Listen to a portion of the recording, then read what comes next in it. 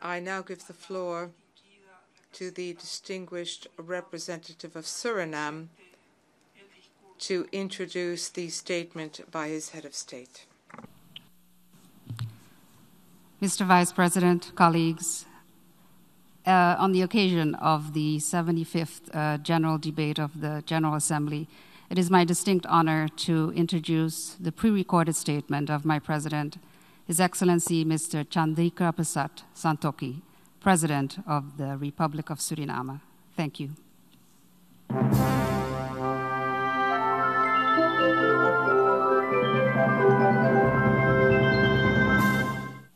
Your Excellency Volkan Bozkır, President of the General Assembly, Your Excellency Antonio Guterres, Secretary General of the United Nations, Excellencies, colleagues, ministers, and permanent representatives, ladies and gentlemen. Mr. President, we are indeed at an unprecedented time during the historic anniversary of this global body of nations. It would have been an honor for me to personally deliver my maiden address at the rostrum of the General Assembly. The onset and continued prevalence of COVID 19 has prevented this. Thankfully, we can make optimal use of modern technology.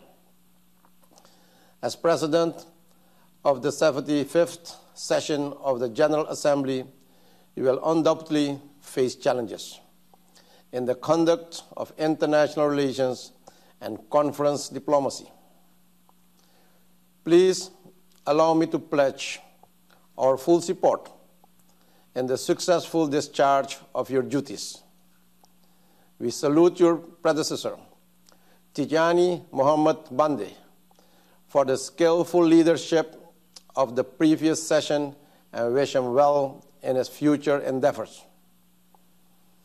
To the Secretary General Antonio Guterres, we wish you to pay tribute for his sterling efforts in guiding this organization.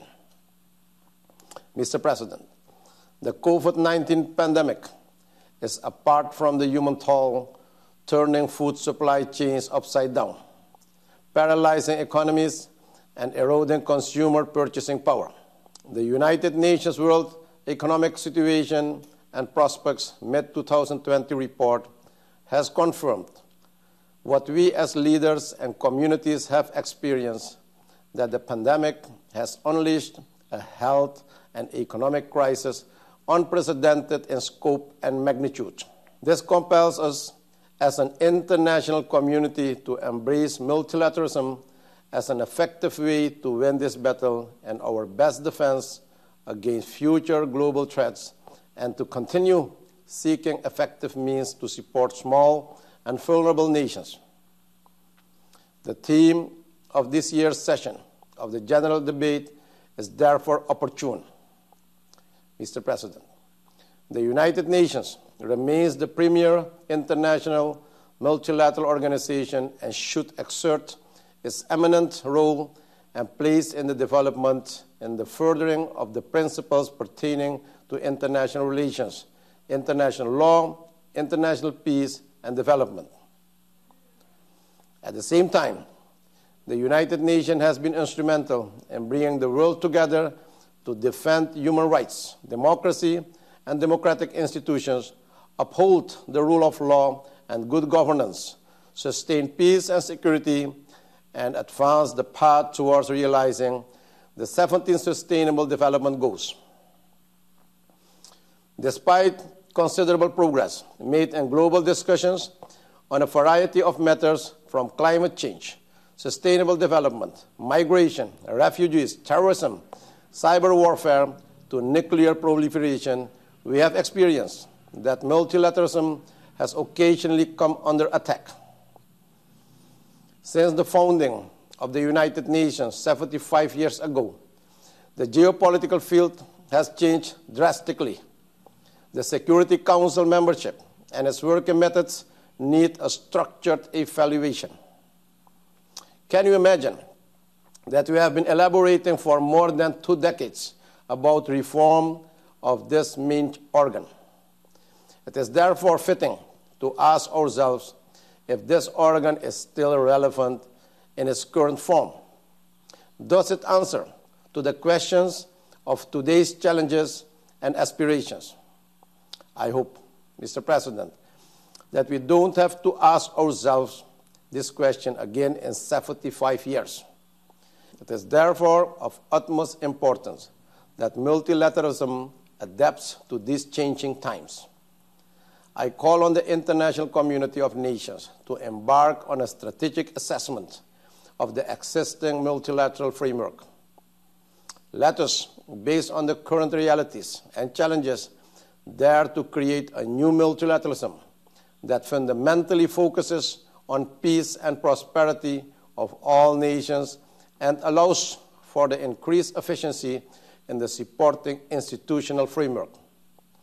A multilateralism that acknowledges all nations, irrespective of their size and development level, and plays in the global order as equal and with respect. A multilateralism where compliance by every state with international law and internationally accepted principles forms the bedrock of our interactions. A multilateralism based on the international cooperation to confront the many global challenges and seizing the common opportunities that promotes a culture of inclusiveness and equality. Unilateral actions have always proven counterproductive and will never lead to achieve any defined objective. Nevertheless, dialogue and the active involvement of all countries taking into account international principles is what we should strive for. More importantly, Mr. President, a multilateralism that necessitates us to recommit to the vision of the United Nations Charter. In this regard, we call for the lifting of the long standing unilateral economic, financial, and commercial embargo against the Republic of Cuba and its people. Multilateralism for climate change, Mr. President, while the focus of the international community is currently on managing and containing the further spread of the COVID 19 pandemic, we should continue to dedicate our attention to other challenges of equal or even greater impact on the sustainable development of countries and the entire planet. Addressing the impact of climate change is one of these challenges. As a country with 239 miles of low lying coastline, Suriname is among the top 10 of most vulnerable countries with respect to the disastrous effects of sea level rise as a result of global warming.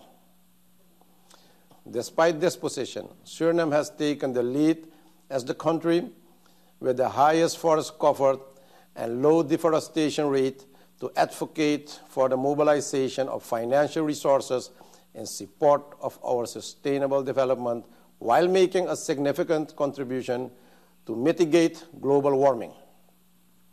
It is estimated that our standing forests store 12 gigatons of forest carbon per year. Not a small contribution at all, I believe. However, these national commitments may only serve particular domestic concerns, but to maximize their impact, strong international engagement is necessary with ambitious and attainable targets.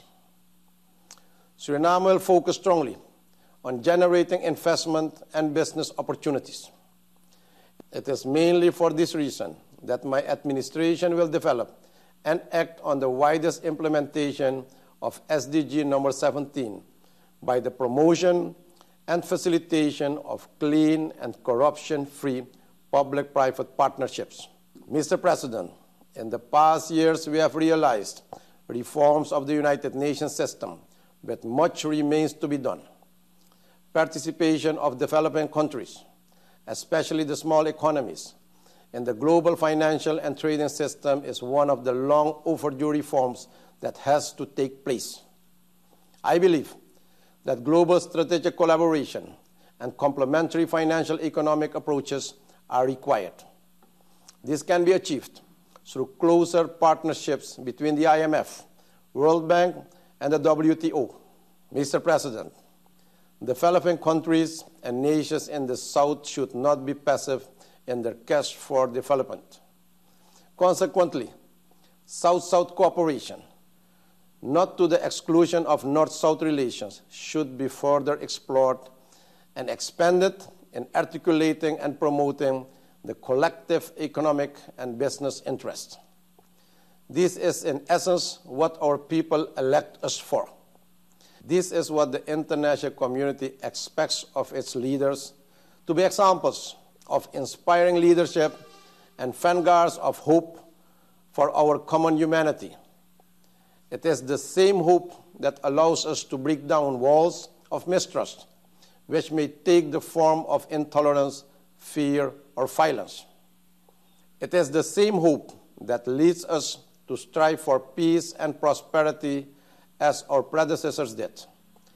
It is particularly this hope that will give the upcoming generation of leaders the strength to elevate this global assembly of world leaders to a place where collectively the nations of the world should find ways to make a better life possible for all of the global community for the next 75 years.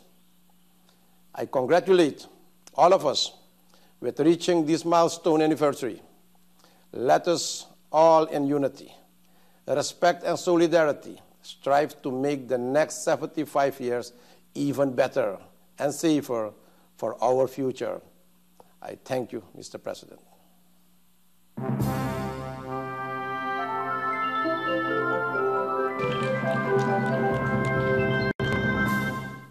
En nombre de la Asamblea General On behalf of the General Assembly, I would like to thank the President of the Republic of Suriname for the statement he has just made.